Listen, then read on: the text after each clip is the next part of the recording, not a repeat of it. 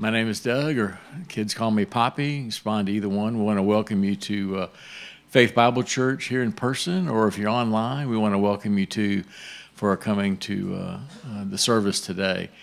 What a great day, right? We had some rain this week and 50 degree weather today, and keep it up, the people in California really want to come to Texas, right? So don't tell them. Remember, we, it was 128 degrees yesterday, I think, but. But anyway, we just enjoy this cool weather. I want to go over a couple of announcements with you, and then we'll do communion. First couple of things. One, before this service, I think y'all know we have Sunday school classes, and we invite you to come to a class. Starts right about 9:30 or 9:40 or so, and uh, there's a listing of the Sunday school classes in your bulletin. So I encourage you to attend one of these. We're thankful that Rita is back, and uh, we see Esther here, also a teacher. And uh, so, well, please consider that. Thank you for your giving. We always uh, value that and ask that you would continue to seek the Lord as how you would give to the church. And so, we're so blessed that uh, you do help us provide for our operations and for missions and other things. Some upcoming uh, announcements. We, we've got some upcoming events. One of them is we have Pastor Tim coming back next Sunday. There's going to be a potluck dinner next Sunday after the second service. So if you would bring something in a pot we can all eat, please bring that next week. And they start taking and receiving those, I think, at 8:30 or 9. And uh, October is Pastor Appreciation Month. There in Louisiana, we call it de- we depreciate you. So we this is Pastor Appreciation Month. So next Sunday we're going to have a basket. If you want to give Tim and Richie a card uh, or something more tangible about thanking them for the church, there'll be a a basket for that. Also online, if you want to give for Pastor Appreciation, you can go online and do that. Or if you have a check you just put it in the offering box. So that's next Sunday after the second uh, service. In the meantime, as we wind Pastor Tim's sabbatical down, if, if you have a need in your life, the in this bulletin, the names of the elders and the contact information are there. So please don't contact Pastor Tim this last week. Contact one of the elders if we can help you in any way. Uh, also coming up on October 20th is the singles um, widowed and bingo night. It comes around about once a month. I know they have a great time up here. So that's on the 20th from 6 to 8 here at the church. You'll also notice that um, if you picked up a bulletin today, there's a, attached to it a piece of paper about ransomed life. We're going to be doing a bake sale November 5th at the church between the services to raise money for Ransomed Life, which is a local organization that helps uh, kids and teens with uh, issues with sexual trafficking. And there's a little bit of information attached to this bulletin, and we'll have some more as we come up. So that's coming up November 5th, the bake sale uh, on that. And right now, I want to bring up uh, my wife Becky and Lulu Belts to give us a special announcement. Concerning the Hill Country Pregnancy and Counseling Center.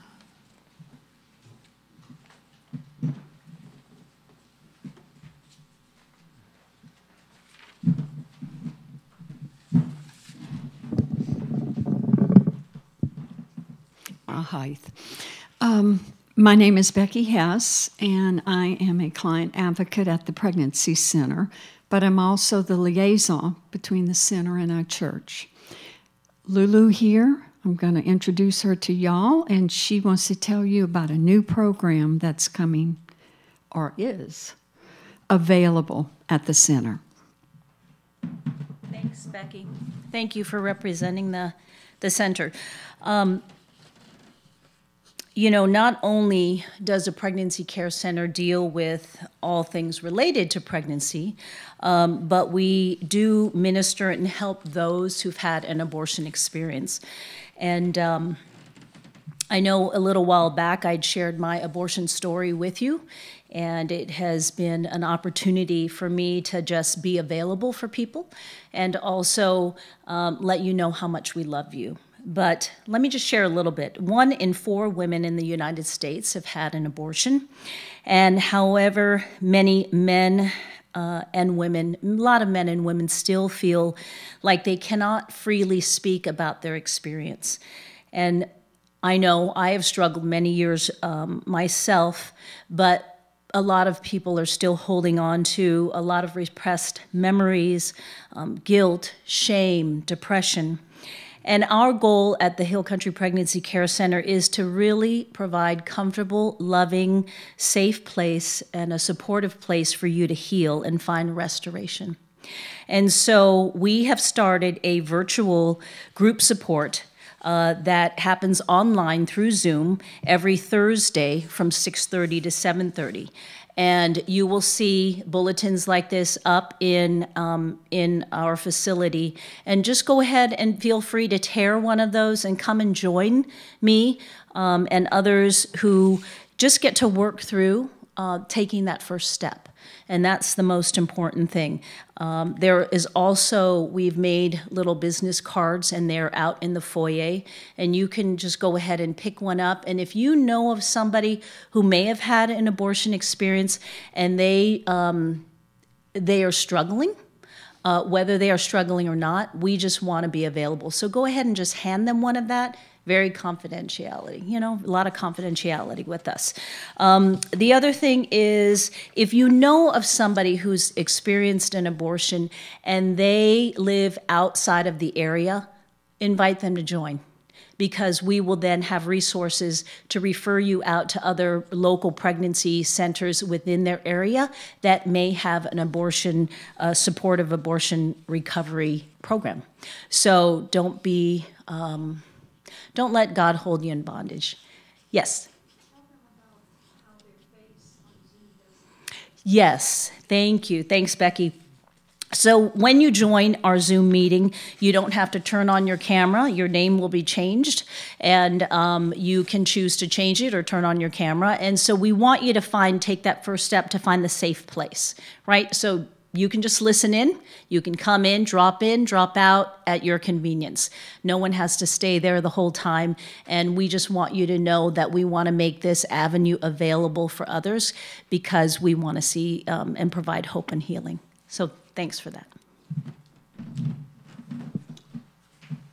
Thanks, Lulu and Becky. I think, too, if she didn't mention, it's not only for women, it's also for men. There's a men's Zoom meeting, too, right? That you can uh, participate in if you uh, knew somebody that was impacted by that. One last quick thing before we do announce before we do communion it's prayer cards in the foyer and the tables. If you have a prayer request, fill one of these out, put it in the box, or go online and fill it out confidentially, and we'd love to pray for you. For communion, I want to go over a verse. We typically all the time, every Sunday, celebrate the death, burial, and resurrection of Christ. And so we celebrate that event in human history by taking communion, right? That's what we do. But there's another verse I came across a while back, Romans 5:10. Romans 5:10. For if while we were enemies, we were reconciled to God by the death of his son, much more now that we are reconciled, shall we be saved by his life. So did you know that we were first reconciled with him? Through his crucifixion and the shedding of blood, but we were saved by his life. Saved by his life. And that, that takes a while. It took me a while for that little truth to sink into my life that it wasn't just the death on the cross that brought me forgiveness and reconciliation, but what really brought me salvation was his life in me. So as we celebrate that Romans 5:10 verse about life, we want to take the little wafer. We want to celebrate what Jesus did on that cross 2,000 years ago by dying and shedding his blood.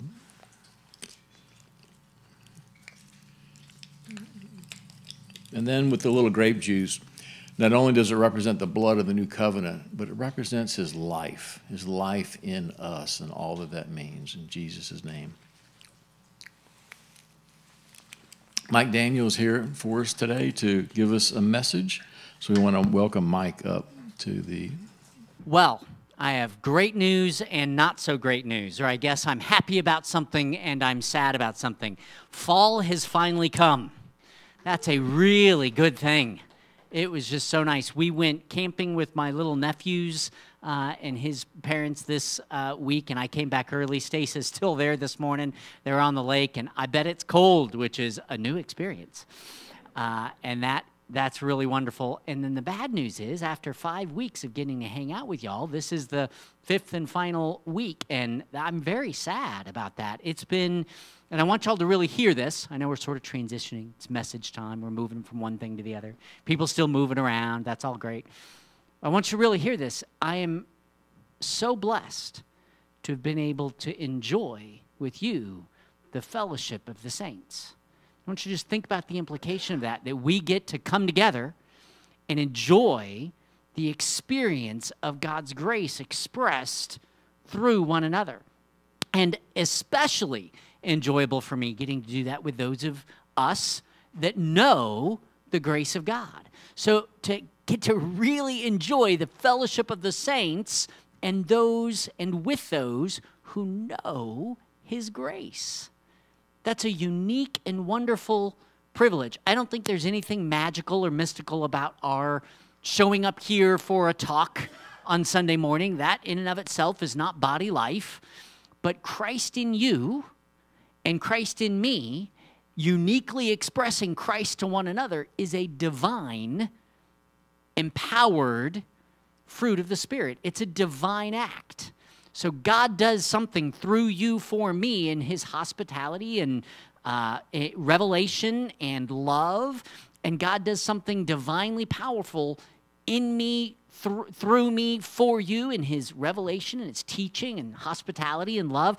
It's love expressed, the persona of love, Jesus Christ himself, expressed through you uniquely your personality, your history, your ability, your gifting, your insight, your experience as an expression of the person of Christ in you. You know, the hope of God's glory is not Jesus Christ. That almost sounds heretical. The hope of God's glory is Christ in you. It's not Christ apart from you. It's not you for Christ. Colossians 1:27 says the mystery revealed in this age after the cross is this Christ in you the hope of glory. So I appreciate deeply getting to share in that process of Christ through me and Christ through you, engaging in the reality and growth of Christ for one another. It's it's a unique and powerful experience, and uh, no two messages have been the same. So I had a hard time deciding because I missed a week. Brad taught for me one week when I was sick out of the last five. And it was a challenge for me to go, okay, now I've got an extra message that I had planned. Which one do I choose to, to teach? And I was going to play guitar and sing a song that I wrote uh, a few weeks ago. And so y'all are getting spared that. you need to thank Brad because he filled in for me, and you don't have to suffer through the song that I wrote, but I I was gonna, I was thinking um, we might work in another message and I'd come back uh, next week, but Tim will be back, and I, uh, having heard from him, I know he's chomping at the bit. So uh, I won't deprive y'all of that, but uh, maybe one day I'll do that. The, the reason that I had written the song is because we sing about amazing grace, and rightfully so. But the song says, you know, amazing grace, how sweet the sound to save a, but I'm a wretch no more. I'm not a wretch. He saved a wretch like I was, and I've been reborn as something entirely different. So, because of his amazing grace, I'm not, as Doug was saying, I am not just forgiven and reconciled by his blood. I'm brought to new life. I am a new creation. We are reconciled by his blood so that we can be truly saved. Salvation is not forgiveness, forgiveness is not salvation. Salvation is resurrected life. You've been resurrected. You've already died. You've already been resurrected. You've already, out of that spiritual union, been seated in Christ with the Father. All of the work for you to be completely and totally reconciled in experience now has been accomplished there's nothing left. There's no death left. There's no increasing resurrection. There's no ongoing new birth. There's no ongoing forgiveness. You're already completely made new in union forever. Your experience will be unique. You'll grow up in who He's made you. He's not making you new, He has made you new. And your growing up is the new you. It's okay to grow up. It's okay that we're not very good at it. We're getting better, but it's not us causing better, it's us growing up in what He's already done. There is no more. We're not waiting for another visitation. We're not waiting for something else to happen. We're already spiritually in union with Him.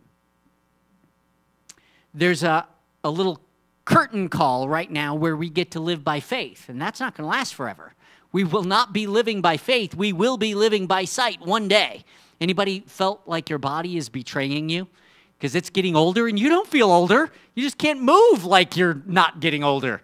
Well, that's because, folks, you're not getting older. The body is dying, the body is decaying. We have this euphemism we call age. The body, my body, is fading away, but who I am is eternal. And so it feels like a little bit of a betrayal, right? Those of us that have been around, you know, spun around the sun a few times, we're starting to go, this isn't right. No, this isn't you. It seems like, you know, I shouldn't feel this way. No, that's not, your feelings are not who you are. Who you are is eternally secure, forever reborn in the person of Jesus Christ. That's the real you. This body is just a temporal experience.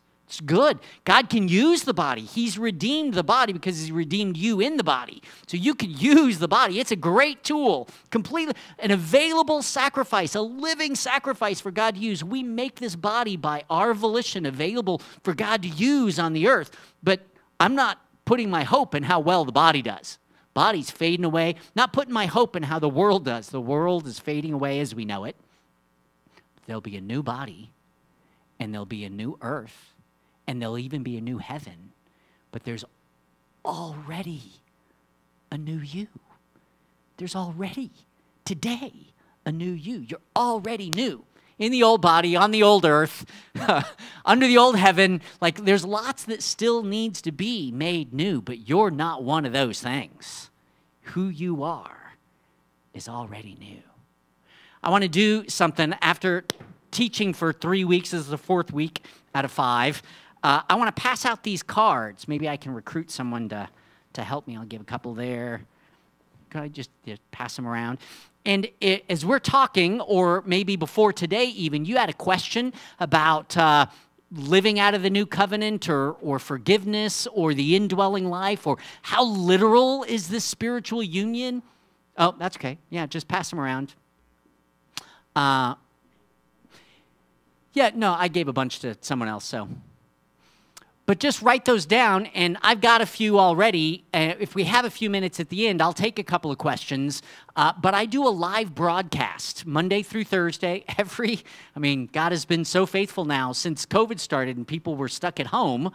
Uh, I started doing this broadcast, and then I did a little bit more, and then I did a little bit more, and it's just grown into its own thing I never expected. So we do this broadcast Monday through Thursday at 8 a.m. Central Time and uh, people from all over the world join in. It's pretty interactive. People ask questions. About 80% of the time, that's what we do. We just handle people's questions. And so when we get done, I'll either take those up before we get done or you can leave it in your chair. And if we don't get to your question today, which I don't think we'll get to all of them, maybe not any of them, we didn't in the first service, we had too good a time. Uh, but I'll, I'll get through those in the broadcast. So I just wanted you to know about that. Uh, Mike Q. Daniel is my handle. So you can go to Mike Q. Daniel on Facebook or on YouTube or go to MikeQDaniel.com that you see on the screen up here. So on the website, YouTube, Facebook, you can catch that broadcast live and it'll stay on there. So if you can't be there at 8, you can come later in the day and watch the day's broadcast. So Anyway, want to uh, invite y'all to do that, but I also want to handle questions. I think we like the idea of the new covenant, and then we don't know how to live it out.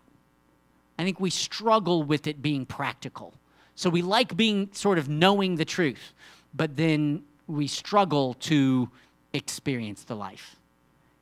I think we love knowing the truth, and I think we struggle to experience the life.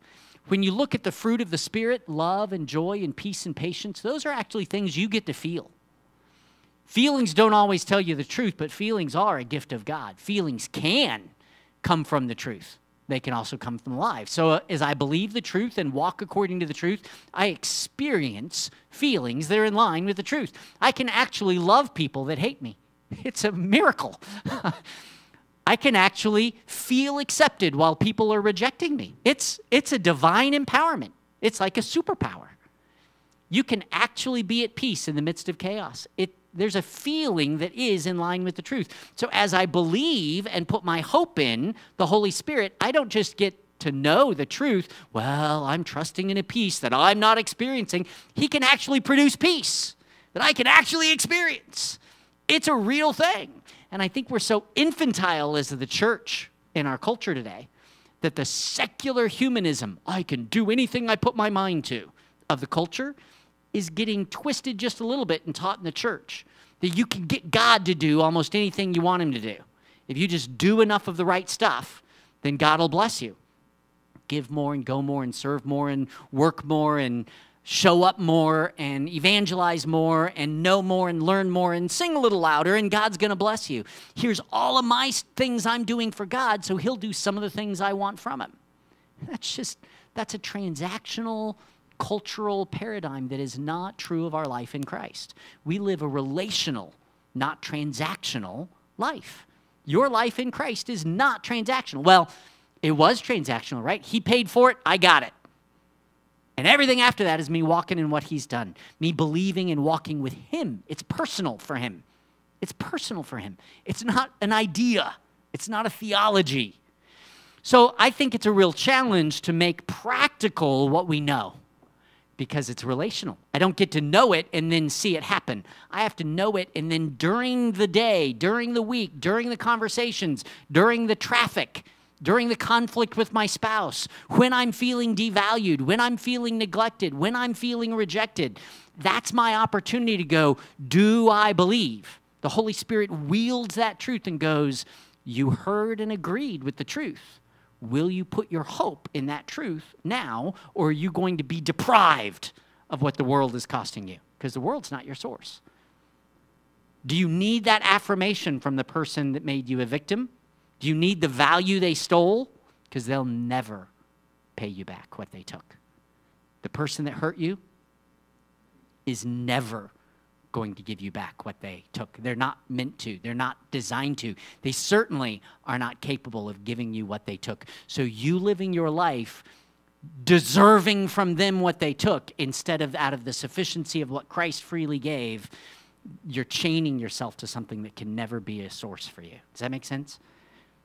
If you've hurt me, I'm not wrong to be hurt by you, but I don't have to live from that hurt. I can live out of His sufficiency, but I can't do both.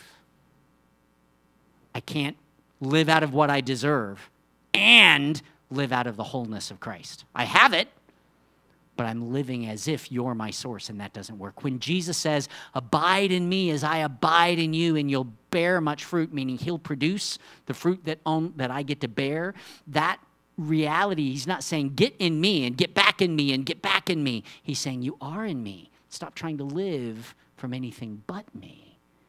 So abiding isn't getting somewhere you're not, it's living from where you are. It's, it's sitting where you're sat. It's breathing the air you've got. It's living from the vine you're in. So he's not saying, get in me. He's saying, you are in me. Stop trying to live like you're not in me. Live from where you are. And so abiding is not you doing something that's lacking, it's you not trying to get what you lack from some other source. The remaining where you are. So I want to look at a verse today in Romans 15 that is kind of challenging maybe the passive paradigm of new covenant. The biggest problem in the world today really is that the world doesn't know how dead they are apart from Christ. When the world pursues everything that they want in their circumstances, the, the saddest saps on the planet are the ones that get everything. Because everything they put their hope in, they've got, they've got nothing left to put their hope in. All the money, all the fame, all the power, all the opportunity, all the, you know, how can you get a bigger house? Will that make the difference? Can you get a second boat or a third boat or a second house? Like, how many does it take for me to be content? And it's never going to be enough. And they're the saddest people in the world because there's nothing left for them to gain. They actually lose the only hope they had. The rest of the world is living deprived, right? They're thinking, well, when I get enough and when I can relax more and when I don't have to and when that's fixed, and they're putting their hope in something they have yet to fully experience. But there's a few people that are truly the saddest people on the planet, and they're the ones that have got everything they thought would give them contentment and life. And they're the only ones in the world, right, the unsaved world, that have done that and realized how worthless it is. They have it all, and it all means nothing. The rest of us are going, Well, I'm trusting God to give me a little bit more, and I'm doing these things in order to cause a little bit more, and got my little side hustle. Listen, hustle culture is not rest. The hustle culture of, of uh, the world, that's not, that's not rest. That's how we're trying to add to what we're doing to do better, to get more. And you've already got it all. It's not going to add anything to you. So, the saddest thing, biggest problem in the world today is they don't know how dead they are apart from Christ. And that's the saddest thing in the church today. I've said this before here, but it's been a couple of years. The saddest thing in the church is that we don't know how alive we are in Christ. It's even sadder, really. The world doesn't know how dead they are apart from Christ. And we often don't realize how alive we are in Christ. We've got life and we're looking for it from the world. If I could just get a little bit more affirmed from my spouse, they neglected me or they didn't think about me and they were inconsiderate to me and they devalued me and or my boss, you know, didn't see my value or my whatever. We, our kids don't listen to us and we have a lot to contribute. Whatever it is, we feel diminished by the world and we've got Christ. We've got value. We've got significance and security for us to want it from the world is even worse than the world not getting it from Christ. We've got it from Christ and we're living for the things that the world wants. So it's horrible that the world doesn't know how dead they are apart from Christ, but it's almost a bigger travesty that in the church today, instead of secular humanism, you can do it, we're teaching a religious humanism that says you can get God to do it. It's the same message you can either do what you need, that's the idolatry of self, right? You can pull yourself up by the bootstraps. Whatever you set your mind to, you can make happen. No, you cannot. Want to test it? Ready? On the count of three: one, two, three. levitate. or love your neighbor more. Mm, trying to love them more. They sure do bug me. Give value to your spouse. Ready? Go. You can't flip that switch. That's something only God can do. Does that make sense?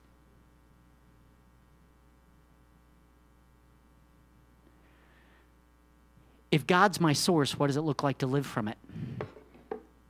In a very real way, the enemy loves the lie of separation. Jesus wanted nothing more than us to experience our union with him and our union with the father and his union with the father and our union his union with us. So he's like i want you to know the union i have with the father and the father has with me and you now have with me gives you union with him and his union with you. It's just all of us together. It's oneness.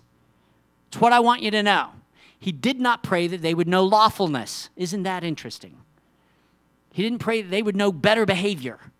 I want you to know what it's like to please God. But he also didn't say, I want you to know how much grace is afforded to you. He didn't say that either. See, grace is the means to something else, it's a relational life. Grace is not a better form of transactionalism. Knowing about grace does not change your experience. Choosing to put your hope in His sufficiency instead of your own his sufficiency instead of your own. Choosing to put your hope in that tomorrow when you're in conflict, that gives God the opportunity to produce through you what only God can do. And then you experience something you've never experienced before. You have a peace that transcends your understanding. You have a love that counteracts the hate. that you're receiving. You accept people that reject you. Sounds a lot like Jesus, doesn't it? Loving the guy putting holes in his hands. I don't have holes in my hands, but I will never taste death again. I've already been crucified, I've already been resurrected, and I'm living from the world like a dead man, like a zombie, if I don't choose to put my hope in what I say I know to be true. The enemy loves that lie of separation that we're not operating from God, we're not in Him, but we're also not in life with one another. I'm not in any greater union with God than I'm in union with all of you who are in union with God. Let me say that a little differently. You're in no greater union with Christ than you're in union with everyone else who's in union with Christ. If you're one with Him and I'm one with Him, we're not two. We're one. So if I choose to divide over your lifestyle, I'm denying the sufficiency of Christ for me. You're a threat to me. Jesus didn't do that. He didn't placate people's sin, but he didn't divide. He didn't avoid. He didn't diminish who they were to him because of their sin. He saw the difference between their own lying beliefs and behavior and their value to him. I will die for you in your sin. And we want to reject them because we feel like it sullies our soul. You're, you're okay. God is not threatened by the sin of humanity. He died for it, He's paid it. He wants everyone to experience it. You aren't going to sully your soul loving people you disagree with. God cares more about your union than he cares about your representation of righteousness. Let him do that. And it's going to look like love anyway, not like law. Every time and twice on Sunday. All right, so here's what this looks like to me. The enemy, I've started this several times, the enemy loves the lie of separa- separation. And in the midst of those opportunities to divide, to believe the lie of I lack in my circumstances, the lie of lack instead of the truth of the fullness of Christ, one will divide me with other people and the other one will unite me. You'll be going, I hate you, and you're going, it's okay. I love you. What does it cost me that you hate me? You're not my source. I don't, you know, want to be around you. All right, well, I'm available if you need anything. I don't have to reject the people that reject me and hate the people that hate me and undermine the people that are undermining me. Why? Because they don't cost me anything. They're not the source of anything. That's divine. And we don't want to do it because we know that it's wrong. And you're right. The people that hurt you, hear me, the people that have hurt you were wrong. But you're never going to be able to get them to make it right. They're not going to ever make it right. That you're not wrong to be hurt doesn't mean that they're a good source to make it right. Live from Christ and you don't need it from them, but you don't get to live out of what they cost you and what He's given you at the same time. You don't get to live from what the circumstance in the world and the hurt cost you. Doesn't make it right. But you can't live from what they cost you and live from what Christ has given you at the same time. You can't live as their victim and with him as your victor at the same time. Are you winning or losing in that exchange? What they cost me, grace has to afford me. They can never afford to give me back what they took. They can never give me the dignity that I didn't deserve to lose. They can never give me back the security that they're threatening. They can never give me back the value that they've undermined. They can never give back to me the time that they neglected me in. They can never do it. Good thing they're not my source because I can live from wholeness, not hurtfulness. That doesn't mean it wasn't hurtful. We're not advocating for what they did. We're not placating people's sin. We're realizing that they were never my source. I don't have to live from other people's hurt. I can live from the fullness of Christ. Colossians 2 makes it really clear. It says, All of the fullness of God reside bodily in the person of Jesus Christ, and you have fullness in him. Stop living from the lie of lack, start living from the fullness of Christ. You've, you've got both. The world hurts and God makes you whole. Which one is going to be your source today? God loves the truth of union. The problem is that union comes despite other people's hurtfulness and dissension and disparity. I think the Apostle Paul, I've not done the math to check this out, but I actually think the Apostle Paul talked as much or more about union versus dissension and division. Probably talked about that more than he talked about sin. And we're awfully concerned with sinful behavior and lifestyles in the church, and we're not very concerned about divisiveness. Paul was very concerned. He didn't. Jesus did not say, "They will know you by your lawfulness." They will know you by your theology. They'll know you by your grace doesn't help you if it doesn't turn into love in practice. Grace does not help you in your experience if it doesn't turn into love in practice. Christ in you is loving people that do not deserve it. Because that's what love is.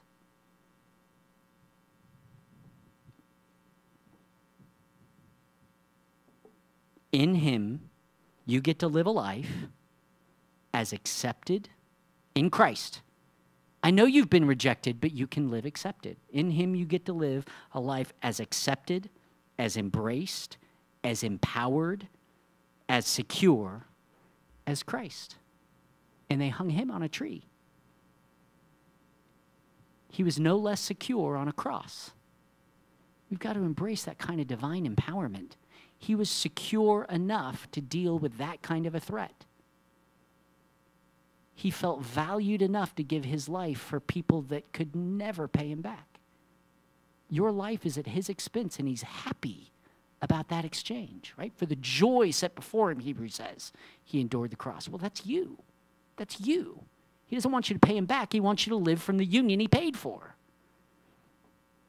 You get to live a life tomorrow not lacking any acceptance, not lacking the divine embrace of God, not missing out on anything that God has for you. We just have to stop mistaking what God has for you as being through everyone and everything around us. The circumstances you're in don't cost you fullness in Christ, they're the context of choosing your source. Do we believe Him or not? Growing up in Christ is not getting more of what we want from the circumstances, it's not behaving better in our choices. It's living from a relationship in Christ. I'm never going to walk with Christ and going, Jesus, are we sinning today? Is that what we're doing? I never have to worry about the law, ever. Am I being obedient? People are really concerned about obedience. It's like, are you available for God to use you however He wants? That's the love relationship that is obedience. The Spirit leads and I follow. The God my father provides and I, as the child, receive. I'm not living to cause what I need, I'm living from the provision of God. He, as God, provides and directs. I, as his child, receive what he provides and follow his direction. I don't have to go, Is this what I'm supposed to be receiving from you? He's like, All of it, all of it.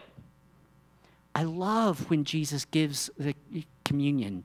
He says, Take and eat, take and drink all of it. Drink all of it. Don't take part of it, take all of it. All right, so the reality is in our trying to believe that we've got it all in Him, but feeling like we're lacking in our circumstances. Can anyone else relate in, in that? Like, man, my circumstances feel very insecure. Uh, since COVID, I've shifted. My ministry is not really a traveling speaking event very much, not nearly, it's probably about half as much. And I do a lot online for free. I do a lot online for free. Small groups all over the world have me showing up online and speaking to their small group. Never even comes up what that would cost them because Christ already paid for it. They have to receive it for free. They can contribute to the ministry if God leads, and they'll follow that you see, there's no fee to that. Whereas someone calls me up and says, Mike, can you come do a leadership event in Atlanta? Sure. They're, they expect there to be a fee for that. There's no fee for me meeting with the pastor at 2 a.m. in Atlanta online because he has an elder whose kid's in crisis and he's not sure what to do. And heaven forbid the pastor not know what he's supposed to do. Who punches that clock? It's not the most secure way to make a buck. There's no clock. And I'm here to tell you, I'm as, a, I'm as secure as Christ was with the Father. He gets to do what he wants. You are as loved and secure and empowered and valued as Christ. Watch this. Romans 15, verses 5 through 7 says this May the God who gives endurance and encouragement, endurance and encouragement, let's call that hope, right? Things are going badly and I'm encouraged. Things are going badly and I'm given endurance. Let's kind of put those together with the shorthand and call that hope. May the God who gives endurance and encouragement, hope, give you the same attitude of mind towards each other that Christ had. Let's call that harmony. Hope and harmony. The God who gives you hope when things look bad can give you harmony when things look divisive. The God who gives you hope when things are not going well, you're hoping that things will go well. When you don't have enough from the circumstance, He's giving you encouragement that it's coming, I'm enough, and endurance to persevere until then. He's giving you hope beyond your circumstances. Listen, He can give you harmony beyond your divisiveness. Your conflicting theology is not a spiritual gift. I got to write that down because that one was for me. Where's my pen? Our, our theological prowess is not a spiritual gift, it's just not listed. It's loving people who disagree with us. That's the spiritual gift. You love them no less when they disagree with you. What would it look like for us to care more about winning hearts than winning arguments?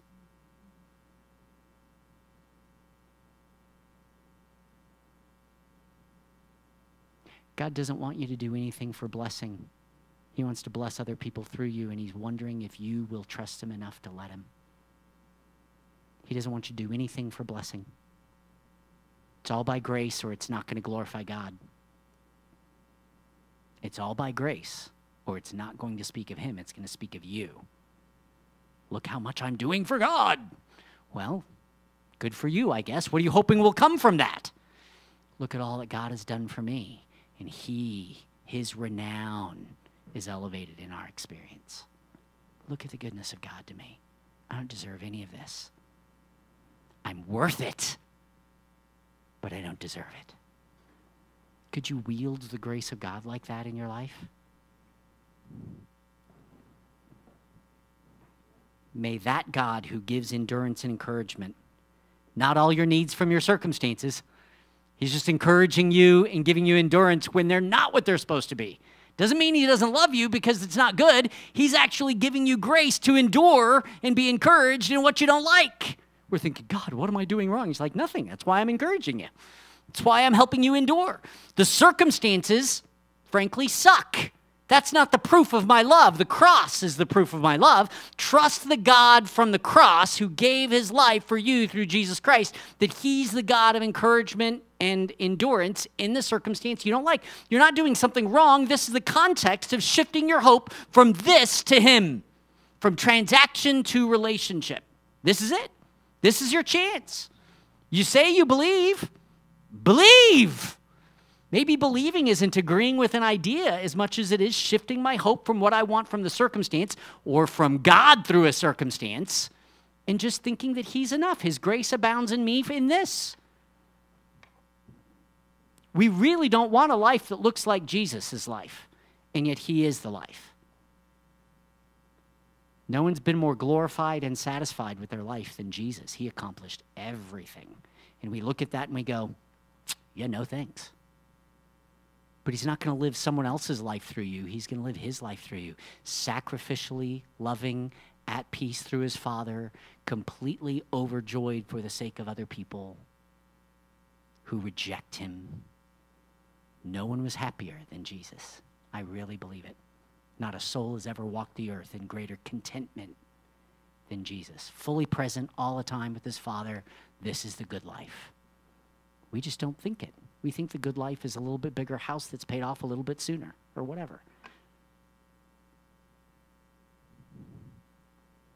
He goes on and says, May that same God that gives you the hope bring us in, into an attitude of harmony. You're in union with everything Christ is in, everyone Christ is in union with. You're in union with everyone Christ is in union with. He wants us to be harmonized in our life together so that there's more glory through the harmony than there is in the solo.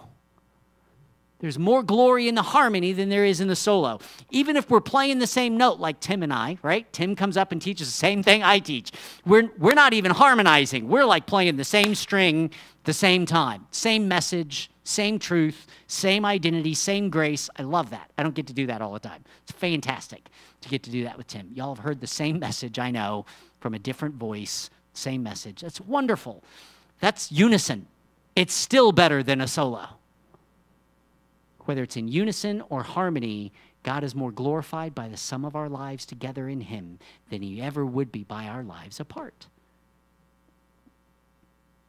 He says, may give you that attitude of harmony because of Christ, far greater than anything that would divide you. You have different theology? Well, praise God, we're both saved. Praise God, we're both in Jesus. Oh, you don't know that you're in Jesus? Oh, you think Christ in you is just figurative? Whew, I'm glad I don't believe that. Love ya. Oh, you think your identity in Christ is what you earn from Him? I don't believe that. Sure do love you. May you do that so that with one mind and one voice, you may, you there is plural, it's y'all, Paul is Texan. He's not from Arkansas, that'd be Ewans. We don't say Ewans so that with one mind and one voice, you all may glorify the God and Father of our Lord Jesus Christ. Do you see the beautiful plurality of union? Our Lord. One voice, one God, one Father, one mind. Why? Because we agree about everything? No, we're just in union with Him. What if our relationships are of greater value than our conflicts? What if I want to win hearts and be in union with you because of your value more than my issue and argument and conflict? Then I can eat with people that hate me and have. Look how he finishes this in verse 7. I didn't put it on the screen for you guys. I have no idea why I did that, but verse 7 says this. This is his summary of that idea he says, Accept one another then. That seems so simple, right? Accept one another then. People come and say, Mike, my family's going through this lifestyle thing and this event, and I'm not sure, should I go? Am I endorsing that? Should I not go? Should I love them anyway? Oh, yes, love them anyway. Let's just start there and then deconstruct. What does it look like to love them sacrificially? I'm not telling you to go or do or say yes or say no. I'm saying start with you love them unconditionally and then deconstruct what it looks like to love them. Instead of, should I stand in the truth at their expense? No, no, no, no, no. You stand in the truth for their benefit. What does it look like to do it for their benefit? Let's start with love and deconstruct the behavior, not start with the behavior and try to figure out how to love them while you're doing that. Let's not figure out how to love people while we're disagreeing with them. Let's just love them and then not worry about disagreeing with them. Let's eat with the sinners. Some of y'all are like, man, I'm glad he's not coming back next week. He's just meddling. Accept one another then. Accept one another then. You know, Jesus didn't treat the disciples differently than he treated the tax collectors. The only difference was he dragged the disciples with him to the tax collector's house to eat. He just assumed they'd be with him when he went and fellowshipped with the sinners. He did not love the disciples more than he loved the harlot. He just dragged them along with him. Guess what he's going to do through you? You get to love like that. You get to have peace like that. You just don't get it from everybody else. But they're not your source, so it's okay. Accept one another then. If you're one heart and one mind and you have the encouragement and it's all a gift and it's all from Him, if that's the economy of it, it's all by grace, then accept one another just as Christ accepted you in order to bring praise to God. What you do for God does not help Him. what you let Him do through you, the divine love and embrace of God through you that He's given to you, that same embrace, that speaks of Him. That word, I'll, I'll end with this. I'm not watching my time very closely. Um, we're okay. Don't look. It's all right. That word, accept, he uses it twice in one verse. He says, Accept one another then, just as Christ accepted you, in order to bring praise to God. That word accept, it, in the Greek, it's pros lambano. It's a compound word. Pros is the same phrase that uh, John uses in John 1 1, when he says, In the beginning was the Word, and the Word was with God, meaning you can identify them, but you can't really separate them. They're, it, it literally means face to face, pros, close. So when I teach John 1 1, I say, you can see Jesus and you can see God, but you can't really see where one begins and the other ends. There's no separation, there's no space. It literally means there's no space in between them. So, how do you know where one begins? Even my hand on my face, you can tell where the hand is and where the face is, but you may not be able to see where they're contacting, right? It's not like you can go, oh, there. You know, you can't see it at the same time. You can't see the point of contact at the same time. That's too close. That's God the Father and God the Son. They're with, pros. Except is pros lambano, with, close, inseparable. And lambano means to take up. It's a choice. It says, I've taken this up and, and brought it pros, close. Lambano is to take up, and pros is close. I've taken someone up and brought them close. Since you've been taken up and brought into intimate, inseparable union with Christ, you need to take up and bring close into inseparable union through Christ everyone else. Pros close, inseparable close. Union feels so costly until you realize you don't have to pay the cost. Union feels so costly because you have to set down all these things that you value. I care about my opinion. I care about where I've been hurt in the past. I care what's been taken away from me. I care about the security that that threat threatens. Bad phrase, sorry. I, I, I, I care about these things and I've got to put them all down for the sake of union. It's a good thing that where that stuff comes from doesn't cost me. I can give up my dignity from you because you're not the source of my value. I can give up my acceptance from you for the sake of union because you're not the source of my acceptance. I can even give up some of the security from you because you're not the source of my security. You can threaten me and I'm secure. You can reject me and I'm accepted. You can hate me and I'm loved because you're not my source and I can't live from both what you cost me and what grace provides. I don't have feet in both of those. I cannot live from the flesh and according to the Spirit at the same time. They're in conflict. I can't move in two directions. am I marching, dancing with the Spirit, or am I dancing with the flesh? What I need from you, rightfully, I deserve it. You shouldn't treat me that way. or am I dancing with Jesus? I have everything. What they do doesn't affect me. Who's leading the dance, the flesh or the spirit? You think you're leading, that's the flesh. you think that it's you leading. I'm doing what I need to to get what I need. Yeah, no, that's actually not you. That's the flesh. Who you are is in the spirit. So, all that to say, we get to take up and bring close out of union with one another, just as Christ is taken up and brought close. Intimate fellowship in order to praise God. Why does it praise God? Because I'm not living from them as the source. God's grace is sufficient for my union lived out with you. All of God's gifts hospitality, faith, interceding for one another in prayer, revelation, teaching, pastoring, shepherding, all of those should look like that. That I would, I won't do this to you, but that I would, she's like, that I would take someone up and bring them close and they would go, Yeah, I don't like it. Yeah, I don't really either, but it's more valuable to me than what it costs me. It's uncomfortable. Grace affords it. That's what revelation looks like. That's what pastoring looks like I don't get to show up on Sunday morning and say, I'm pastoring these people. No, I don't. This is not relational engagement with you. I, I, I need to be engaged in union with you. We need to do life together for you to feel loved by me. You might get a taste of it, the hope of it from what someone says. But where am I sacrificing for you? There's got to be opportunity for that.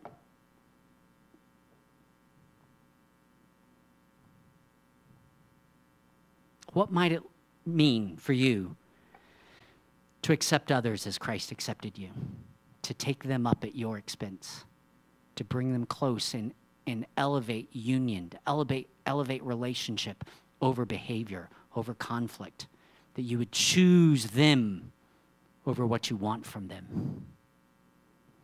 What would that look like? As Christ has already completely and forever accepted you. In Christ, in Christ, there are a thousand reasons that you might be rejected by other people, but there's none left for you to reject them. There are no reasons left for you to reject them. He's bought all your excuses. Does that make sense? There are a thousand reasons you can reject me or what I teach or what I share. There's lots of stuff, but there's none left for me to reject you because you can't cost me anything that grace hasn't provided. There are a thousand reasons why the world might reject you. In different ways, they might reject you, hurt you, deprive you. But there's none left for you to reject them. There are no reasons left. Grace is enough for you. Grace is enough for you. I'm not denying they've hurt you or owe you. Does that help you somehow?